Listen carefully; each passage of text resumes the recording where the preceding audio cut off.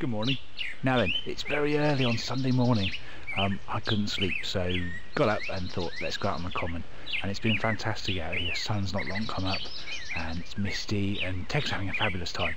Can't quite work out why you can't see very far, but uh, she's enjoying herself nevertheless, and lots of smells and everything. And uh, she's growing up so very fast. But uh, anyway, enough from me. Let's have some from